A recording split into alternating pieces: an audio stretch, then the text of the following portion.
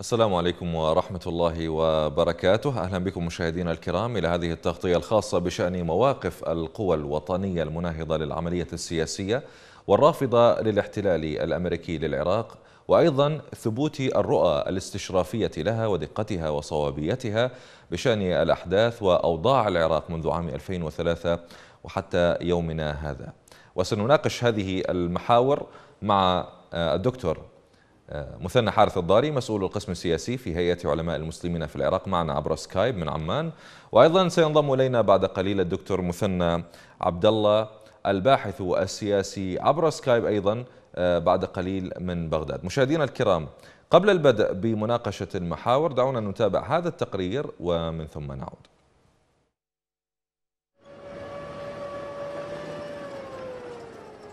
الموقف من غزو العراق كان ولا يزال علامة فارقة في الكشف عن معادن الرجال ومواقف القوى والكتل. فريق ساهم وساعد وحرض على الاحتلال وتخاذل عن مواجهته وفريق رفض وأدان وقاوم بالكلمة والسلاح. تلك هي القوى الوطنية. فما إن وضع الجنود الأمريكيون أقدامهم على أرض العراق حتى تفجرت المقاومة على أسس ومبادئ وطنية. لم تهدأ المقاومة ولا تراخت رغم كل ما أحيك ضدها والآلة العسكرية التي واجهتها. ضربت بكل قوة وأثخنت في الغزاة حتى أعذرت للعراقيين. ولا ينفصل عن جهدها أو يقل عنه شأنا.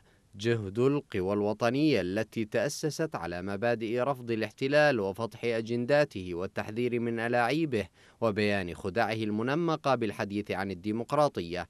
وعند الحديث عن القوى الوطنية تحضر هيئة علماء المسلمين التي لزمت خط مقاومة الاحتلال ورفض مفرزاته المتمثلة بالعملية السياسية فأصبحت الهيئة أكبر جسم وطني يحمل قضية العراق إنسانيا وسياسيا وإعلاميا بكل فروعها وأقسامها.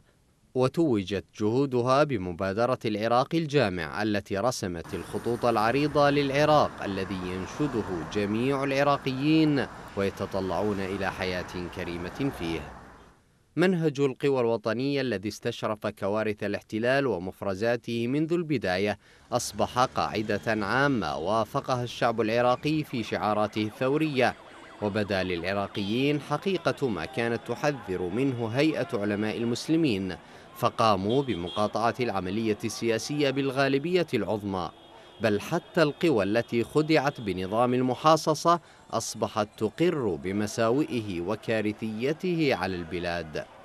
نحو عقدين من الزمن والقوى الوطنية ثابتة على مواقفها. تنادي جميع القوى إلى مظلة جامعة كالتي يمثلها الميثاق الوطني العراقي. فلقد تبين للقاصي والداني أن العراق المنشود لن يكون إلا بنظام سياسي وطني حر غير خاضع للأجندة الخارجية. ويجعل بوصلته مصلحة العراق وشعبه تاريخا وحاضرا ومستقبلا. أهلا بكم من جديد مشاهدينا الكرام. فقط نصحح أن الدكتور مثنى عبد الله سيكون معنا من ولاية نيويورك الأمريكية آه، بعد قليل. أحييك دكتور مثنى حارث الضاري. أهلا بكم إلى هذه التغطية الخاصة وكل عام وأنتم بخير. حياكم الله. أهلا محمد. ومرحبا بكم وبقناة الرافدين. حياكم الله. دكتور آه، في كل سنة منذ عام 2003 ولغاية يومنا هذا تثبت الرؤية الاستشرافية أو النظرة الاستشرافية للقوى الوطنية المناهضة للاحتلال دقتها وصوابيتها. إلى ماذا استندت هذه النظرة الاستشرافية أو الرؤية الدقيقة للوضع في العراق؟ بسم الله الرحمن الرحيم. في البداية نحن في القوى المناهضة للاحتلال ولا سيما في هيئة علماء المسلمين في العراق نعد العام الفائت سنة 21 2021 آه، سنة مثالية من حيث إبرازها لصحة وصوابية ودقة استشراف هذه القوى لمآل العملية السياسية نعم. ولا سيما بعد الانتخابات الأخيرة والمقاطعة الواسعة جدا لها التي قلنا قبل حدوث الانتخابات أنها ستحصل وقد حصل الحمد لله. وهذا دليل على ما ذكرتم في سؤالكم من دقة آه، التوصيف والاستشراف الذي ينبع أساسا أولا من قضية مبدئية لا يمكن أن يختلف عليها اثنان. العراق تم غزوه سنة 2003 واحتلاله احتلته الولايات المتحدة الأمريكية وقادت تحالفا دوليا كبيرا من أجل ذلك. ومن الطبيعي جدا أن الاحتلال لن ينجح في أي بلد مهما طال. الاحتلال يفشل في النهاية أمام خيارات الشعوب. فإذا التجأنا إلى هذا الثابت الذي نستطيع أن نقول عنه ثابت فطري ليس في عالم الإنسان فقط وإنما حتى في عالمنا. الأمر الآخر بوصفنا هيئة شرعية ننشط في المجال, في المجال السياسي. فلدينا ثوابتنا الشرعية التي تحتم علينا الوقوف أمام هذا الغزو والاحتلال الموقف الشرعي المناسب. والموقف هو التصدي لهذا الاحتلال بكل الطرق والوسائل الممكنة ودفعه من أجل إبعاده عن البلاد وإبعاد خطره عن العراق وعن المنطقة وعن العالم أجمع كما عبرنا. لم نقصر هذا الخطر على العراق فقط. الأمر الثالث أن ما جرى من عملية احتلال وأخطاء كبيرة وفادحة حتى على مستوى الاحتلال. وتعاون قوى تسمي نفسها عراقية في الداخل والخارج مع الاحتلال على حساب أبناء شعبها ثم الاستعجال في بناء نظام سياسي قائم على أساس المحاصصة الطائفية والعرقية.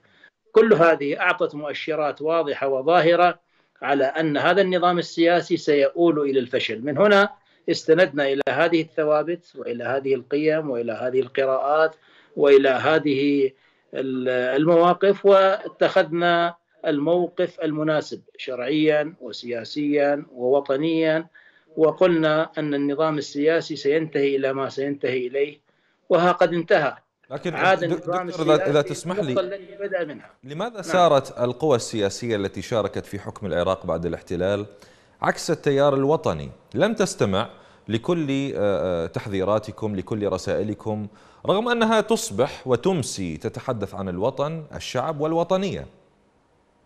هذا كلام غير دقيق وادعاءات منها. لما؟ لأنها تعاونت مع الاحتلال.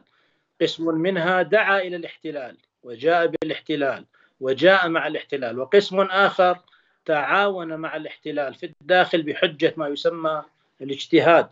والاجتهاد لا شرعي ولا عقلي ولا وطني يصح في هذا السياق. هذه القوة لأنها تعاونت مع الاحتلال لأهداف خاصة أهداف حزبية أهداف طائفية أهداف عرقية.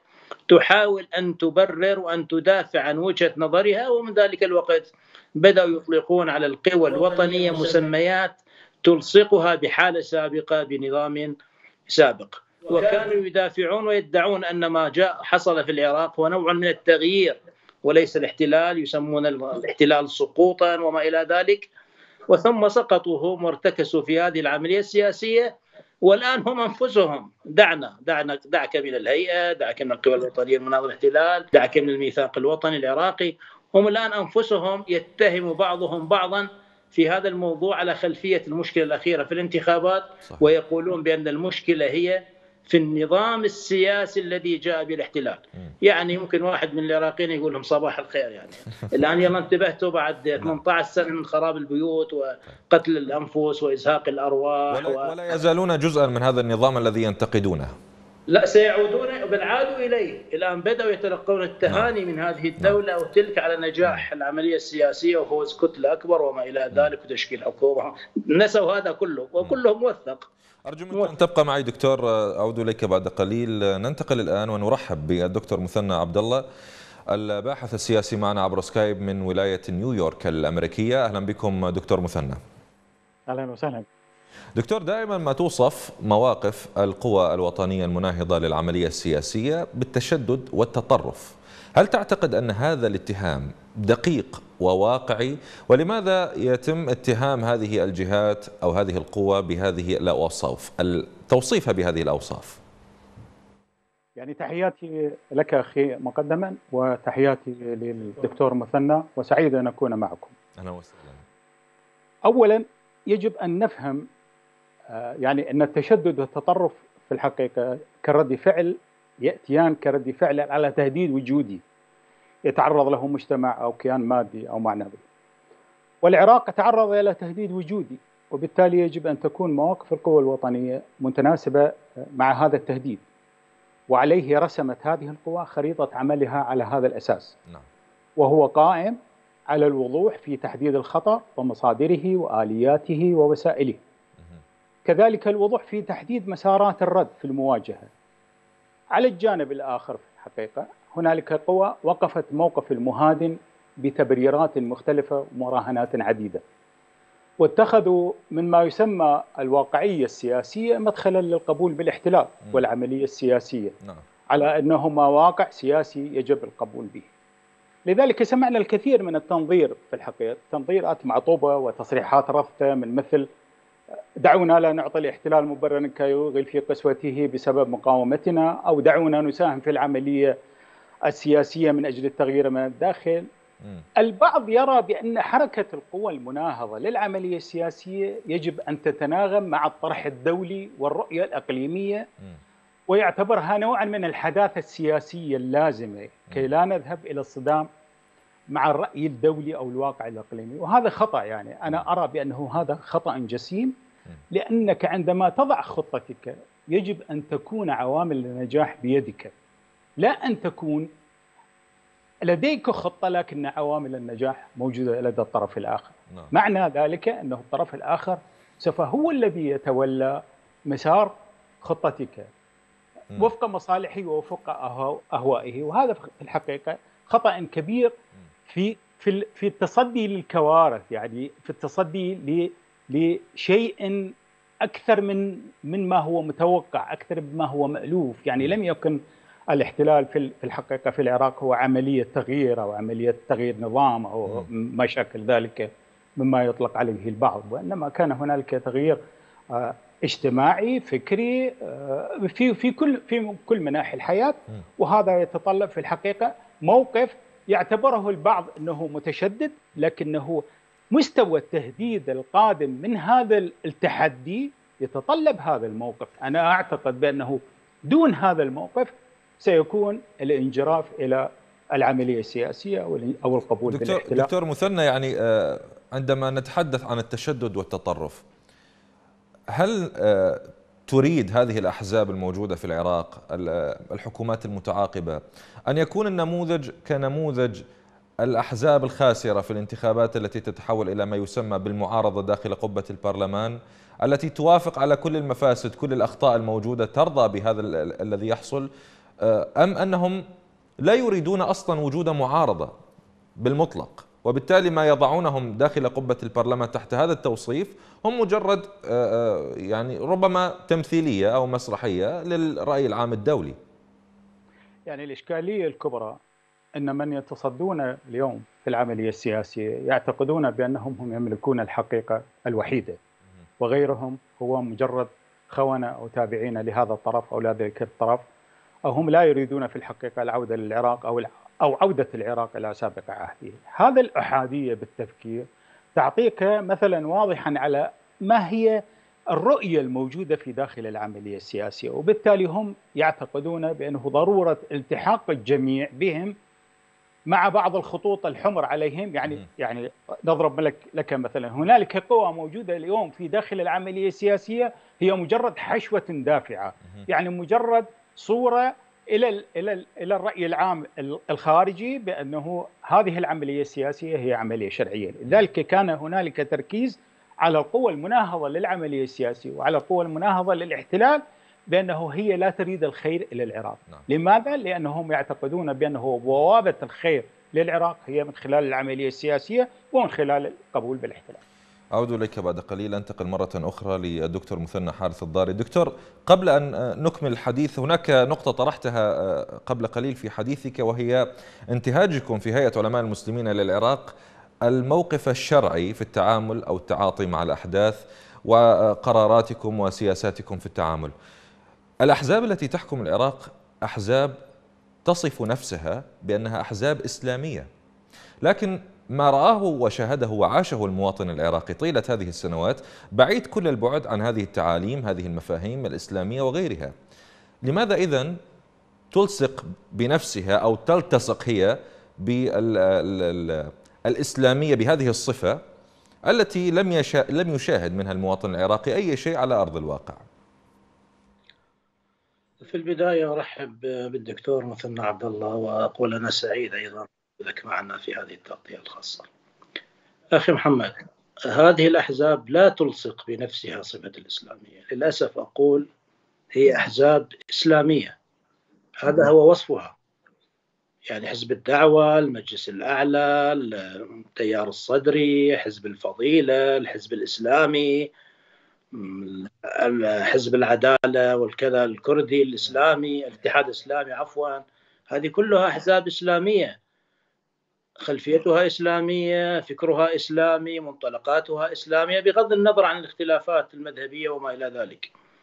ولكن هذه الأحزاب الإسلامية عندما ارتضت لنفسها أن تتعاون مع احتلال لبلدها بغض النظر عن مشكلتها مع نظام سابق أو مع قوى أخرى أو غيرها رضيت بأن يصبح الإسلام شعار فقط لأنها بانسياقها هذا للتعامل مع الاحتلال وفق فتاوى أو اجتهادات أو آراء. لا أصل لها.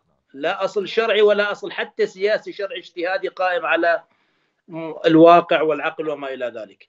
رضيت لأنفسها بأنه تنزع عن تنزع هذه الصفة الإسلامية. فهي ليست أحزابا إسلامية.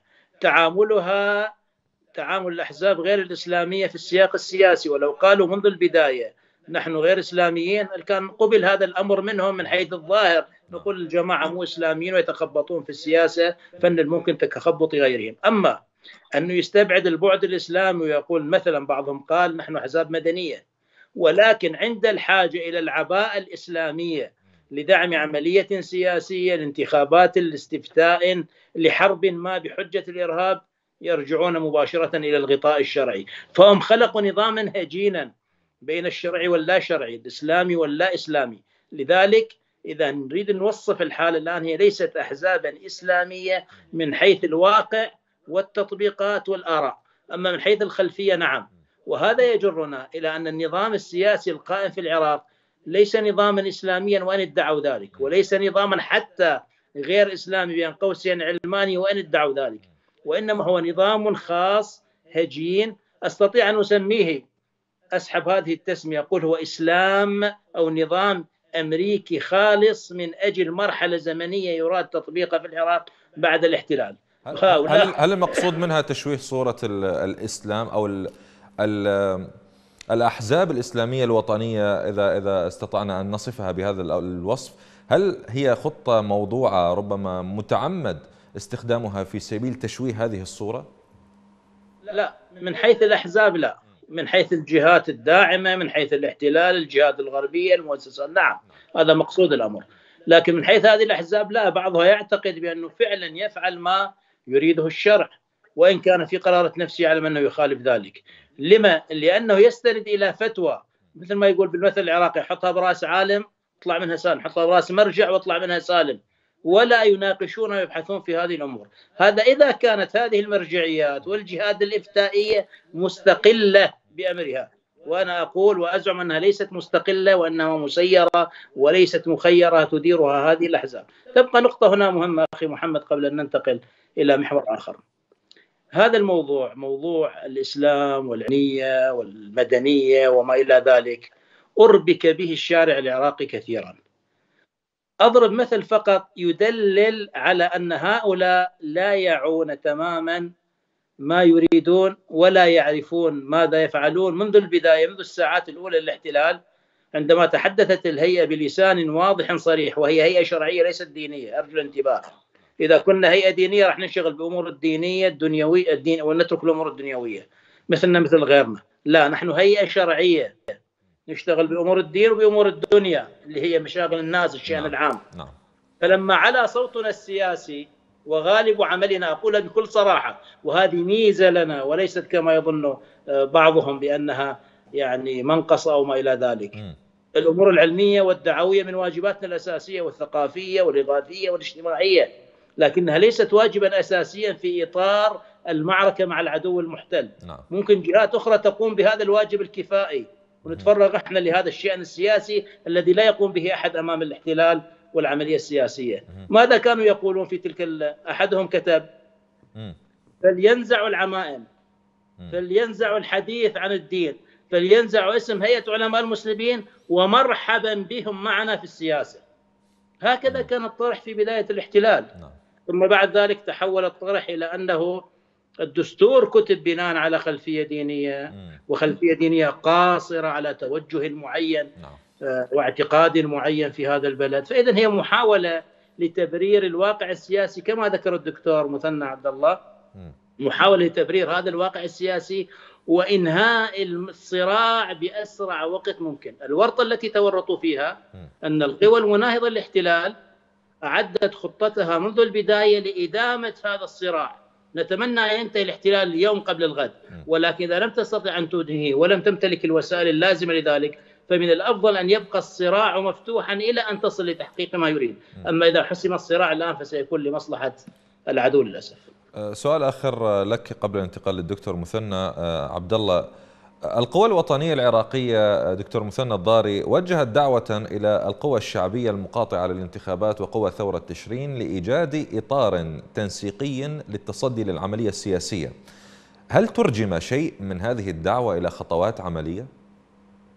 آه، في البداية قضية طريفة أنه الإطار التنسيقي مصطلح نعم. تنفيذي سياسي تستخدمه كل القوى سواء استخدمه هذا الطرف أو ذاك. وهذا المصطلح مستخدم في سياق القوى الوطنية وفي خطاب السياسي والإعلامي منذ سنوات طويلة. صحيح. بعضهم قال لو تستعملون عبارة غير هذه العبارة التي دعوتم لها في المؤتمر الصحفي في اسطنبول لأن فلانا وفلانا شكلوا إطارا تنسيقيا للاحتجاج على الانتخابات.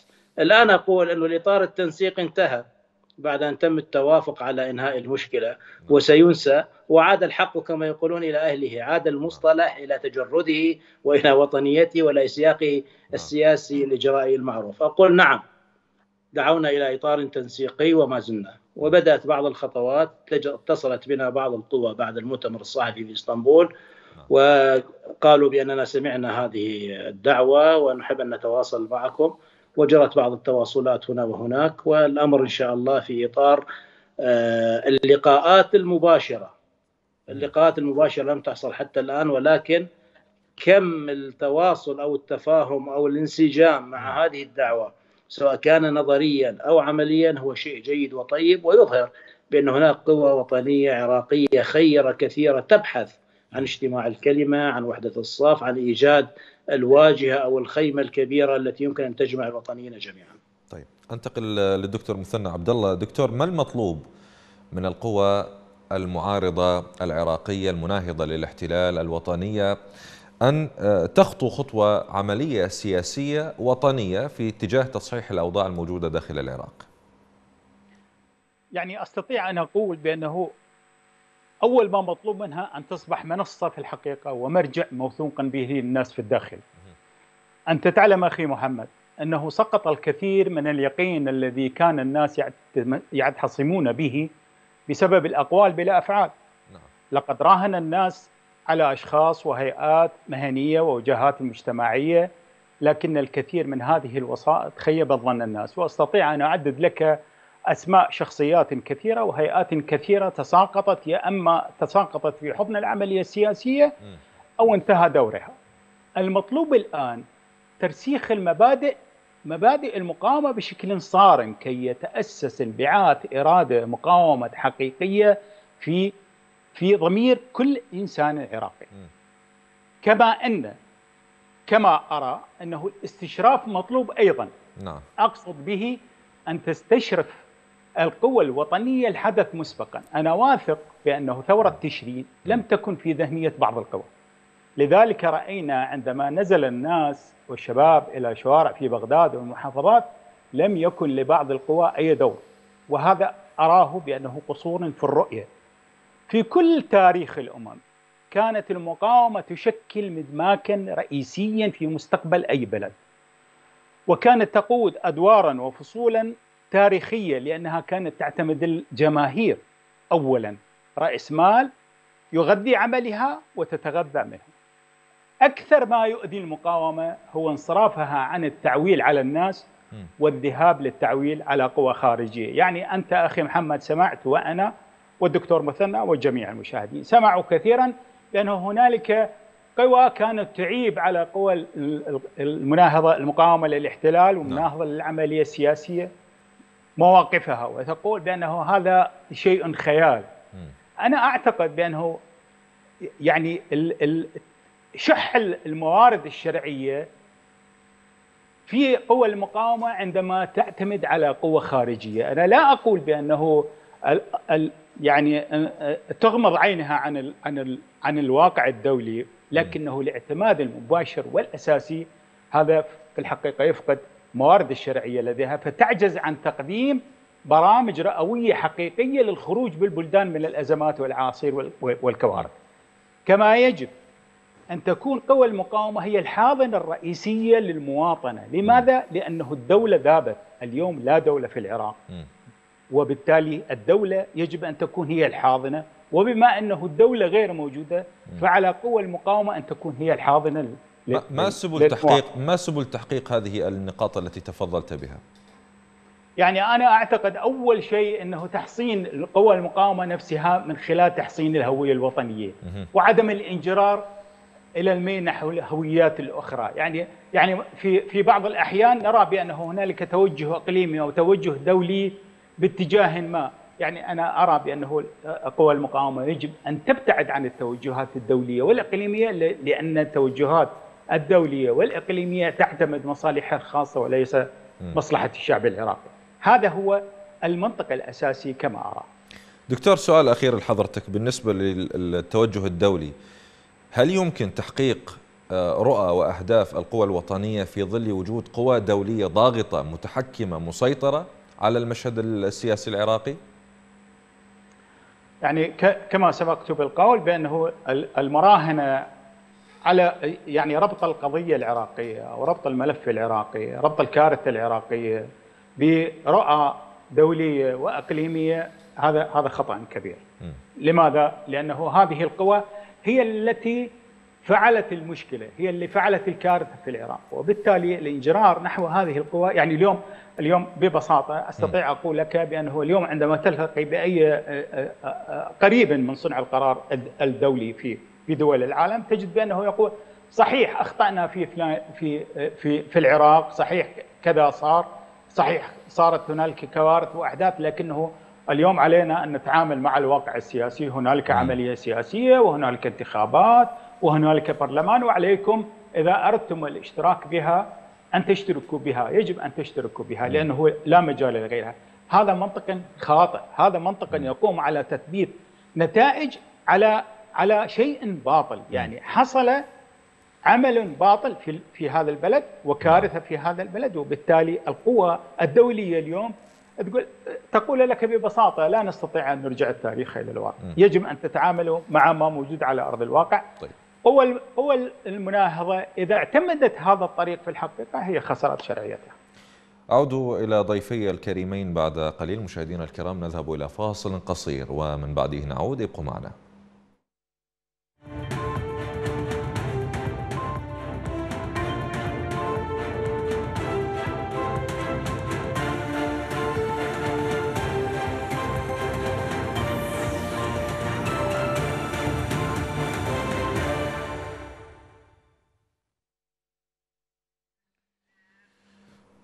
أهلا بكم من جديد مشاهدينا الكرام إلى هذه التغطية التي نتحدث بها مع آه، الجهات القوى الوطنية المناهضة للاحتلال عن رؤياها وعن آه، سياساتها ورسائلها كذلك. لكن أود الآن أن أنتقل مع الدكتور مثنى حارث الضاري إلى قضية حدثت اليوم في آه، محافظة بابل في العراق. مجزرة حقيقة راح ضحيتها عائلة كاملة على أيدي قوات السوات مجزرة بشعة من مجازر كثيرة يشهدها العراق بين حين وآخر في ظل حكومات الاحتلال المتعاقبة. آه، دكتور مثنى المجزرة التي وقعت في منطقة جبلة آه، في آه، شمال بابل كيف ترى الفوضى التي انتقلت من سلاح الميليشيات إلى استخدام الحكومة وقواتها إلى هذا السلاح في وضح النهار بشكل غير قانوني غير إنساني بالتعامل مع عوائل يعني راح ضحية هذه المجزرة نساء وأطفال كذلك؟ نعم أنا يعني هذه الحادثة خطيرة جدا ولها دلالات سياسية وأمنية وتداعيات كبيرة جدا لا يمكن التعامل معها كحدث عرضي وهنا أعود لكلام الدكتور مثنى عبد الله. دكتور مثنى يقول بأن بعض الجهات الدولية وسمعنا هذا كثيرا جهات دولية وإقليمية ودول يقولون لنا تعاملوا مع الأمر الواقع. نعم حصلت أخطاء لكن تعاملوا. يعني يقصدون بعبارة أخرى نقول يقولون تعاملوا مع الخطأ الذي وقعنا فيه. طيب ما الخطأ؟ يولد خطأ. إذا أخطاءكم ولدت عملية سياسية خاطئة قائمة على مشاكل كبيرة جدا. فكيف يمكن لنا أن نتعامل مع هكذا واقع غير صحيح وغير سليم؟ الأصل بأن يصلح هذا الواقع. هذا جر إلى أن هذا الواقع السيء الشاذ غير الصحيح الباطل سمه ما شئت. جر على العراقيين آلاف المشاكل منذ بداية الاحتلال وحتى اللحظة ومنها نعم. ما حصل اليوم في جبلة ما حصل في جبلة إخواني ليس لأول مرة يحصل في العراق. نحن في كتابنا بيانات هيئة علماء المسلمين أربعة أجزاء وكتاب التصريحات الصحفية جزئين اللي وثقت ال 15 سنة الأولى من الاحتلال رصد العشرات بل المئات من هذه العمليات. الآن عدنا كانوا يقولون ميليشيات ومنفلتة وخارجة عن إطار القانون. الآن قوات حكومية تقوم بمجزرة بناء على تدخل من شخص مسؤول وبناء على وشايات لتصفية خلاف عائلي يصل إلى هذه النتيجة. والقصة ليست خلاف عائلي فقط وإنما انظر إلى طريقة تعامل هذه القوة. نعم. إفراط في القوة عدم صحة ما أقول دقة عدم صحة الاستخبارات بل عدم اعتماد الاستخبارات الأمنية. ثم القتل خارج إطار القانون. ثم قتل عائلة كاملة وليس قتل المطلوب اللي ظهر بعد ذلك محافظ بابل والآن الداخلية تشكل لجنة تحقيق م. تبين أنه غير مطلوب وأن القضية جنائية إذا على أي أساس م. تم تصفية هذه العائلة 14 سيارة عسكرية همرات وغيرها تقصف البيت من كل الجهات وتصفى العائلة بالكامل 20 نفر رجال ونساء وأطفال ما السبب في ذلك؟ السبب أن هناك أولا ما ذكرت من هذه الأمور وهذا يؤشر المخاطر التي تكتنف العراقيين جميعا من طريقة تعامل القوات الأمنية. يعني هذا الخطأ الكبير ممكن يقع مع أي عائلة عراقية بغض النظر عن خلفيتها الدينية والمذهبية وما إلى ذلك. ثم طريقة التعامل أيضا قائمة على أساس ترك الأمور لمن له سلطة ويد وقوة. كيف نعم. يمكن لمسؤول ما أن يتصل بجهة أمنية وتذهب قوة أمنية من خارج المحافظة بعلم المحافظة لكن بدون معرفة تفاصيل هذا الأمر. وتقوم بتنفيذ عملية وما حد يسألهم أنتم على من جايين وين رايحين وما إلى ذلك. نعم. ثم أيضا أثناء التنفيذ لا يوجد ما يسمى بالقدرة على السيطرة على القوة النارية. تكون هناك كنا نعرف هذا الشيء. تحصل نعم. اندفاعات وردات نعم. فعل من أفراد هذه الوحدات مبنية على خلفيات أمنية وسياسية وطائفية القوة التي هاجمت هاجمت على أساس أنه إرهابي ويأوي إرهابيين واستخدمت موضوع أنه أطلق رصاصات دفاعا عن عائلته وعن نسائه بعد أن تم التجاوز عليها من قبل بعض المدنيين الذين جاءوا في البداية. نعم. استخدمتها ذريعة لشن معركة على هذا البيت. الآن المؤسسة الأمنية أي مؤسسة أمنية في العالم؟ في ورطة. تقال وزارة تقال حكومة تقال كل هذا سنجري تحقيقا في الموضوع وسينتهي التحقيق لأن العائلة المسكينة ليس لها ظهر محسوب على المكون الفلاني نعم. أن المنطقة هذه فيها خلافات يقال أنها خلافات طائفية وأن هناك أطماع لتغيير ديموغرافي ما في المنطقة. استغلت كل هذه الصورة لكن سبحان الله كشفوا نتيجة الأخطاء والاندفاع في نعم. تنفيذ هذا الأمر. فإذا هذا مؤشر. هذا المؤشر وحده كفيل بأن الأمم المتحدة تتدخل الاتحاد الأوروبي جامعة عربية دول عربية. لكن انظر الآن إلى أعلام الدول العربية. كلها الآن يركز على أنها جريمة لإرهابي ويظهر بعض الإمعات هنا وهناك من الكذابين على باسم المحلل السياسي ومحلل الأمني حتى يبرر هذا الأمر حتى بعد وبعد قبل أن تصل إليه المعلومات ولا يستحي أن المعلومات التي ذكرها وهو على الشاشة تبين أنها غير صحيحة. طيب نعم. أين هو دور الدول العربية في إصدار بيانات استنكار؟ يحدث انفجار ما في أفغانستان لا نستثني دولة عربية وإسلامية إذا ما تطلع بيان تستنكر هذا الموضوع. انفجار في المنطقة الخضراء هجوم على بيت الكاظمي الكل يستنكر. نعم. وعائلة من عشرين شخص تصفى بدم بارد بهذه الطريقة لا نسمع لهم يعني أي صوت في هذا الموضوع. فهذا مظهر. سبحان الله ساقه الله لنا. هذا اليوم مظهر من مظاهر فشل هذه العملية السياسية والأخطار غير المحسوبة وغير المتوقعة وغير المنتظرة من الناس. طيب. وإلا هي في حساب القوى الوطنية معلومة ومعروفة. نعود دكتور إلى محاورنا الأساسية في هذه التغطية. في تصريح آه، سابق لهيئة علماء المسلمين في العراق عقب المقاطعة الشعبية للانتخابات قالت الهيئة أن الشعب العراقي أثبت موقفه الرافض للعملية السياسية هل تعتقد أن موقف الشعب العراقي صار متقدما على المواقف السياسية للقوى الوطنية العراقية؟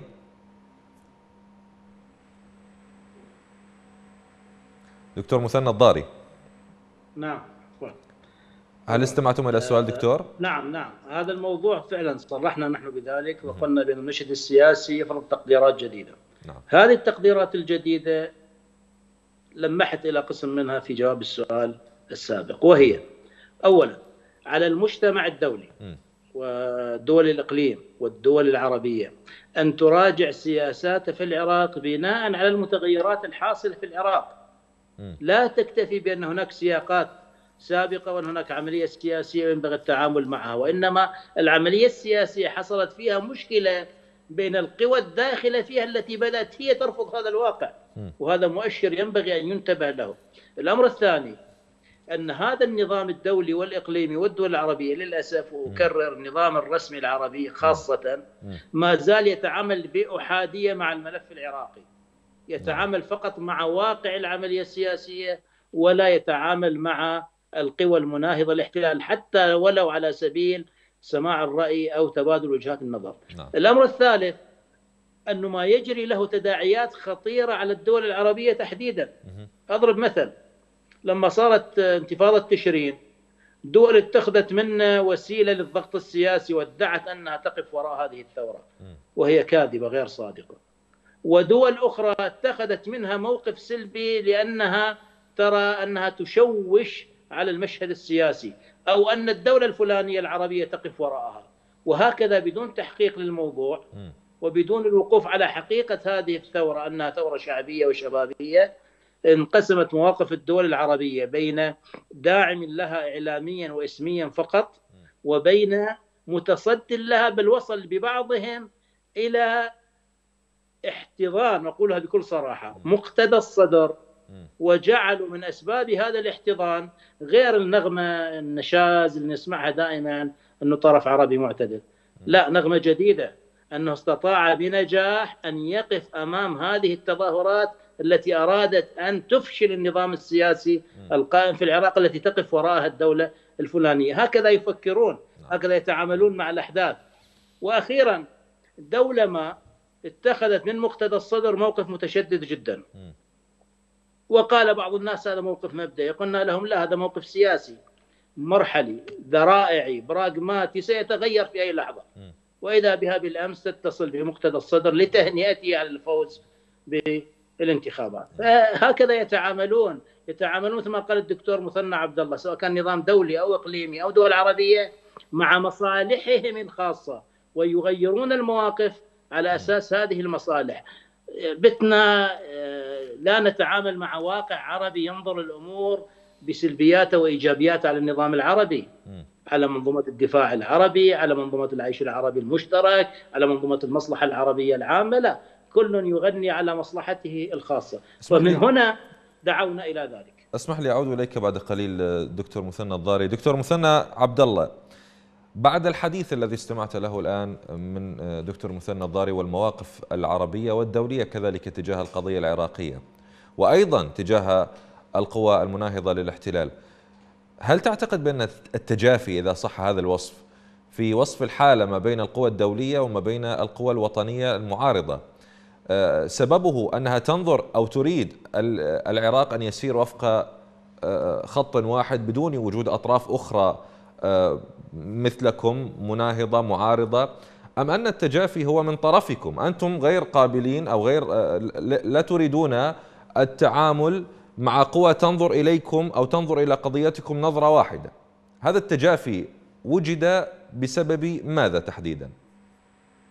يعني أعتقد أنه لا أعتقد بأن هنالك تجافي بل هو أخي محمد بل هو عدم إمكانية لعب الدور المطلوب. يعني إذا كنت تتحدث مثلا أكو تشويش على الصوت لا لا تمام. واضح واضح. إنه عدم إمكانية لعب الدور. اذا إذا كنت تقصد أخي محمد إنه في موضوع الأمم المتحدة والمنظمات الدولية المشكلة الأساسية ان هذه المؤسسات الدولية هي من صنع الذين انتصروا في الحرب العالمية. وبالتالي هي من صنع هي هي منتج لتثبيت مكاسبهم وتحقيق رؤاهم السياسية والحفاظ على مصالحهم. وما زال هؤلاء الصناع إلى الآن هم الذين يرسمون ملامح المشهد الدولي كم كما كما تعرف. نعم. وعليه فإن هذه المؤسسات مطلوب منها تثبيت رؤية هذه القوى الدولية. وبذلك نستطيع أن نقول إنها مختطفة أو إنها منزوعة الإرادة أو مجرد هياكل تبث فيها الروح وتسلب منها الروح وفق لمعطيات القوى الفاعلة.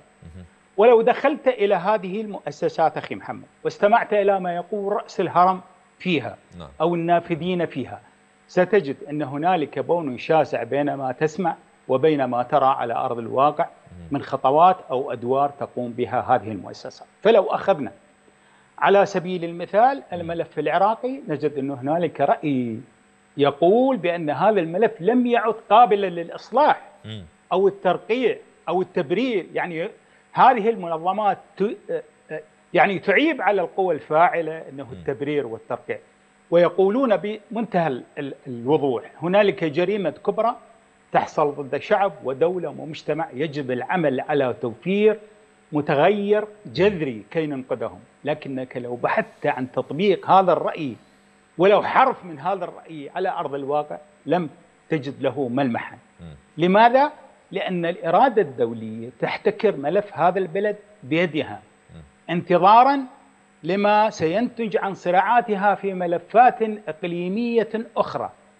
فأما أن تهيئه كي يكون جائزة ترضية لهذا الطرف أو ذاك أو تجعله ساحة مواجهة. هذا هذه الصورة التي أستطيع هل تعتقد دكتور بأنه القوى الفاعلة الدولية تفرض سياسة الأمر الواقع على الجميع؟ يعني على القوى المعارضة على الهيئات والمنظمات الدولية المتحكمة هي بها. يعني على سبيل المثال الأمم المتحدة عندما نتحدث ونقول بأن القرار أمريكي في النهاية هل تعتقد بأنها سياسة فرض الأمر الواقع على الجميع؟ هذا هو الموجود ويجب على الجميع أن يرتضي به. يعني يعني الأمم المتحدة عندما عندما تكون القيمة الكبرى من تمويلها هو من من الولايات المتحدة الأمريكية. وأنت تعرف أخي محمد الدول في العلاقات الدولية لا تعمل كمنظمات آه، آه، اجتماعية توزع مساعدات أو غيرها. هي تريد مواقف وبالتالي يعني هذا عملية فرض الواقع. يعني أستطيع أن أؤكد لك بأنه حتى هنالك بعض الدول التي خالفت رأيها في الملف العراقي خصوصا. لا أتكلم عن بقية الملفات نعم. لكنه قضيتنا الملف العراقي. عندما خالفت الرأي الأمريكي في موضوع الملف العراقي جاءها تحذير مباشر بأنه يجب أن أن يكون المسار موحدا. كي لا تستطيع دول أخرى النفاذ من هذا المسار وبالتالي تخريب العملية السياسية في العراق يعني اليوم هنالك اتجاه ها بالمناسبة نعم. حتى الولايات المتحدة الأمريكية تحركت على بعض الأطراف ال ال الشخصيات العراقية في خارج في خارج العراق نعم. وقالت لهم بالحرف الواحد لم نعد قادرين على الاستمرار معكم والتحدث معكم إذا كنتم تريدون شيئا فاذهبوا إلى العملية السياسية ونحن من سوف يحجز لكم مقاعدا في البرلمان ماذا يعني هذا؟ يعني إنه هنالك إرادة دولية تفرض على على جميع الأطراف والإرادة الدولية معروفة، اليوم إحنا لسنا في في في عالم متعدد الأقطاب، نعم. هنالك إرادة دولية واحدة. أعود إليك بعد قليل دكتور مثنى الضاري قلتم في تصريح لكم سابقا إن المشهد السياسي بعد الانتخابات بات يفرض تقديرات جديدة لإعادة الاعتبار للقوى الوطنية المناهضة للاحتلال هل بإمكانكم أن تشرحوا لنا هذه النقطة؟ نعم بالضبط هو ما سبق تكلمت عنه في النقطة السابقة أن الموقف الشعبي العراقي متقدم ولكن هذا الموقف المتقدم للشعب العراقي يستدعي أيضا مراجعة من القوى الدولية والإقليمية والعربية لنتائج ما بعد الانتخابات وذكرت النقاط متقدمة الذكر وأزيد عليها هنا نعم. ما ذكره الدكتور مثنى عبد الله أنه فعلا وصلت رسائل من بعض القوى الدولية المنظمات الدولية إلى قوى مناهضة للاحتلال وإلى شخصيات وإلى غيرها. تفيد بالمعنى الذي ذكره الدكتور مثنى عبد الله. واضرب مثل فقط حتى تتضح الصورة في الملف العراقي. آه، مبعوث الامم المتحده السابق قبل آه، مبعوث الحالي بلاسخارد كوبش نعم. كان يزورنا بين مده وأخرى. وكلما جاء إلى عمان كان يلتقي معنا ويسمع وجهة نظرنا بغض النظر عن تفهمه استماعه إيصالها للمتحده أم لا. وكان يرفع تقارير. للأسف بعض هذه التقارير لا تتفق تماما مع ما هو واقع في الحال. ولكن على الأقل كان يسمع وجهة النظر. أما من جاء بعده إلى الآن لم يتصل بالهيئة ابدا ولم يطلب رأيها في أي ملف من الملفات على الرغم من أن الهيئة لا يعني هذا الأمر كثيرا. لأن الهيئة تستطيع أن تتواصل مع المتحدة بشكل مباشر مع نعم. الأمين العام للامم المتحده وهناك يعني نوع من الطرق العديدة التي استطعنا من خلالها إيصال رسائل سواء كان إلى الأمين العام السابق وإلى الأمين العام الحالي. ولكن كمثال نعم هناك محاولة لإجبار القوى المناهضة للاحتلال على دخول العملية السياسية بهذه الطريقة وهذا يفسر التساقط الكبير الذي جرى والذي تحدث عنه الدكتور مثنى في إجابته على سؤال متقدم. دكتور آه، أعود إليك بعد قليل سؤالي الأخير للدكتور مثنى آه، عبد الله آه، هل تعتقد أن هناك مسارا أو تعاطيا جديدا للقوى الوطنية قد يولد خاصة بعد الأحداث التي شهدتها أو شهدها العراق ثورة تشرين وأيضا مقاطعة الانتخابات النسبة الكبيرة التي وصلت إلى أكثر من 85% شكرا على هذا السؤال. يعني أعتقد بأنه أي قوة وطنية يعني بالحقيقة يجب أن يكون لديها إطار عمل للخروج من من حال بلد ما من أزمة يعانيها البلد من احتلال من عملية سياسية زائفة. وعلم السياسة في الحقيقة يسمي هذا بهرمية السيطرة. يعني ما هي هرمية السيطرة؟ هي تشخي تشخيص آه، أهمية التأثير ومصادره نزولا من الأهم إلى المهم. كما فيها الطرق الكفيلة بتحقيق الاستثمار الأمثل للتصدعات التي تحصل في الواقع السياسي وكيفية تحويل الرفض المجتمعي إلى قوة دافعة وأن لا يكون رد الفعل الشعبي بنهايات سائدة. يعني يعني عندما تحصل هنالك رد فعل الشعبي القوى الوطنية إذا كانت فعلا لديها أجندة ولديها أجندة آه، يعني خالصة يجب أن تستغل هذا وتستثمره. وعليه فالمسار الجديد في ضوء هذين العاملين اللذين ذكرتهما أخي محمد نعم. يصبح لزاما على كل القوى الوطنية المعارضة تحويل رد الفعل الشعبي إلى مسار جديد ومنجز إبداعي كما أعتقد. ما هو هذا المنجز الإبداعي؟ هو الدفع بالمزيد من القوة الساكنة الشعبية نعم. للانخراط في الثورة. نحن نعلم بأن ثورة تشرين كانت تجمع بين مجموعة واسعة من, من, من كل أطياف المجتمع العراقي.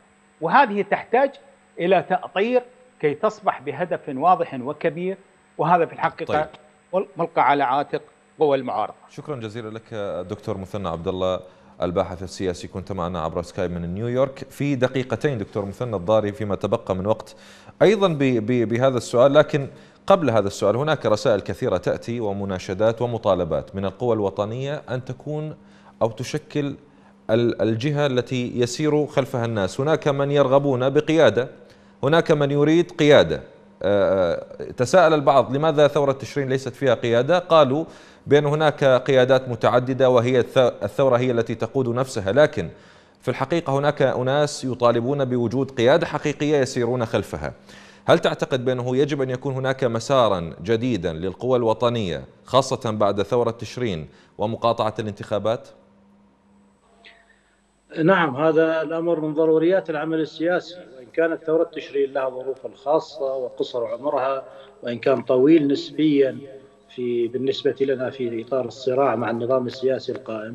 ولكن الظروف الاجتماعية والسياسية والتعدد وقسوة النظام السياسي وأيضا محاولات القوى السياسية ل آه، يعني الصعود على ظهر هذه الثورة لم يفسح لها المجال لإبراز القيادة المركزية الواحدة وهذا ليس مطلوبا الآن.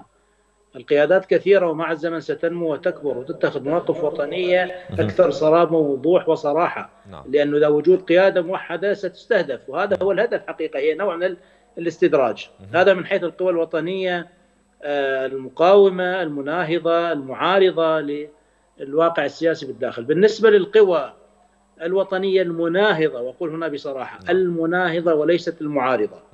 للواقع السياسي في الداخل وفي الخارج متوحدة. ولها تجربة طويلة في هذا الموضوع ولها إطار جبهوي وأقول بكل صراحة ووضوح ويسمعها الجميع.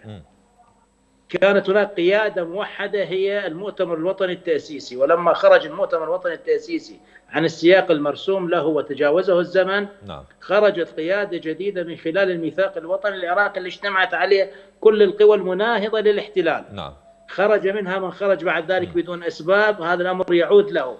لكن أقول بكل صراحة وبكل وضوح الميثاق الوطني كعنوان كإطار عام نعم. وليس إطار جبهوي تنظيمي كأفكار كنص ميثاق يشكل خيمة وطنية وتصلح لقيادة وطنية حقيقية وهو يدعو الجميع للانخراط وأقول لا يوجد كثير من القوى والشخصيات الوطنية خارج الميثاق الوطني نعم. إلا بعض المجموعات والتكتلات والقوى هنا وهناك التي على حوار متواصل مع الميثاق الوطني. في السؤال الأخير أو هي دقيقة واحدة متبقية آه، آه، رسالة إلى الشعب العراقي في نهاية عام 2021 ما الذي توجهونه من رسالة إلى المجتمع العراقي الذي عانى طيلة هذه السنة والسنوات التي سبقتها؟ والله الرسالة أقولها بكل وضوح. الرسالة صعبة لأنه صعب علي وأنا البعيد عن هذا البلد رغما عني. ولا أستطيع العودة إلى بلدي. أن أوجه رسالة إلى العراقيين أقول لهم ماذا ينبغي لهم وماذا عليهم أن يفعلوا. أنا أعتقد أن رسالتي إليهم لن تخلو إلا عن تخلو من أن تكون رسالة أمل. نعم. نحن كنا نقول لهم الخير قادم رغم الظروف الصعبة. والأمل بالله كبير وبسواعد العراقيين كبير. وما زلت أقول هذا ولكني أقول لهم هذه المرة أن رسالتكم وصلت إلينا رسالة الشعب العراقي الحي الذي وقف أمام الانتخابات وقاطعها بهذه النسبة الكبيرة لا يحتاج إلى من يرسل له رسالة.